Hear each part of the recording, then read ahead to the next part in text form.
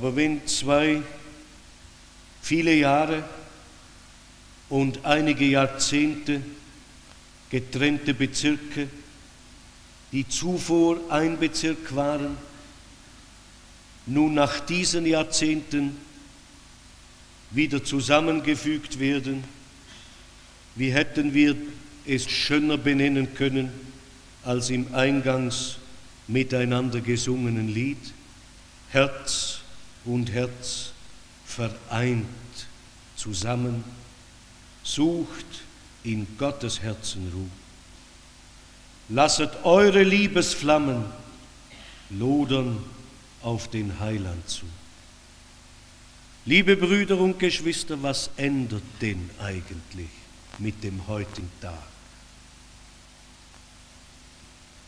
Wir haben doch den gleichen Gott und Vater und denselben Seelenbräutigam Jesum Christi, der sich anschickt, die Brautgemeinde des Lammes bald zu sich zu ziehen.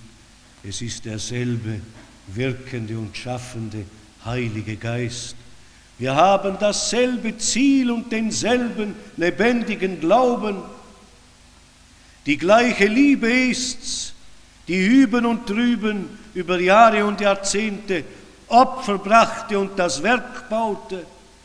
Die gleiche Hoffnung war's und ist's, die uns belebt hat und heute noch belebt, so dass wir freudig vorwärts eilen einzig und allein an der Spitze, da ändert etwas, indem eben nun für die lieben Westberliner, um dieses Wort noch einmal zu nennen, ihr langjähriger, geliebter Bezirksapostel Steinweg und ihr Apostel Wilfried Klingler, den sie inzwischen auch ins Herz geschlossen hatten, indem sich diese zwei Gottesmänner zurückziehen und die Apostel von Berlin Ost, um diesen Begriff auch noch einmal zu nennen, nun die Gesamtverantwortung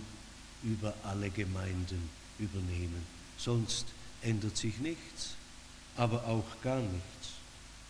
Und ich freue mich, dass mit dem heutigen Tag nicht mehr gesprochen wird von einem Bezirk Berlin West und einem Bezirk Berlin Ost, sondern hiermit vereinige ich offiziell die beiden Bezirke zum Bezirk Berlin.